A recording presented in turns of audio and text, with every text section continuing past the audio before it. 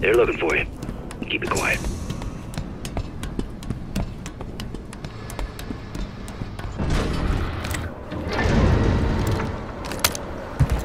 Keep at it, Vera. We can't let Tony leave without a way to track those missiles.